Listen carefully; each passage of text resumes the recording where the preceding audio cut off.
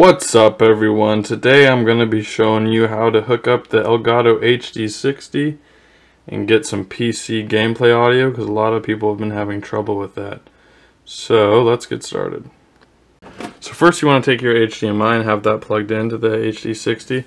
Not on this side. You want the side with the two plugins, so that would be this side.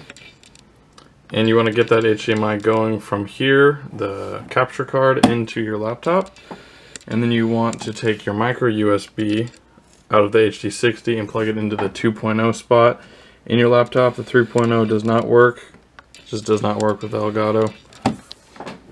So that's that. You don't need to use this side. This is for like consoles like PS4 and 360 or Xbox One or what you guys are using.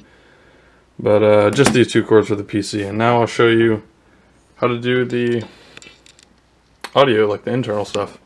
Alright, so first off, you don't want to be buying the extra cords or the extra programs on the internet. All you gotta do is use the programs that come with the Elgato. Sound capture and game capture. So first you want to make sure sound capture is opened. You want to be on PC gaming. You want to have your headset or your speakers on where you want to hear your gameplay. And the output, you want to make sure it's set to Elgato Intel R display audio or the Elgato option. Sometimes it'll show up automatically or sometimes you have to do it manually.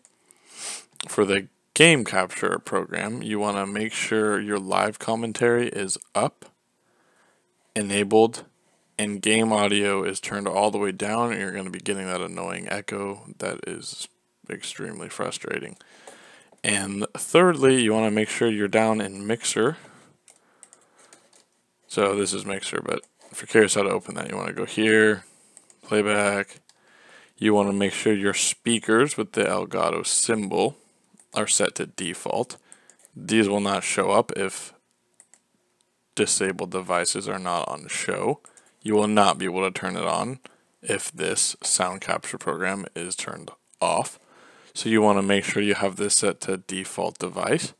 You want to go to recording. You want to make sure the microphone is set to default communications device. Again, make sure to disabled or showed.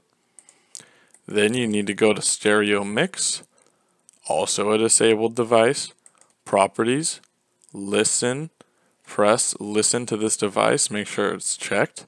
Playback through this device, you want to make sure it's the Intel Elgato R display audio option again.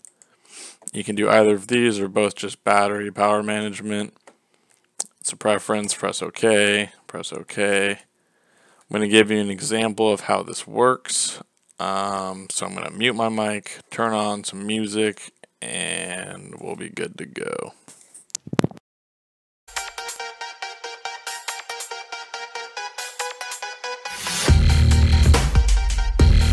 So that's that. Please, um, if this was helpful, like and subscribe and comment.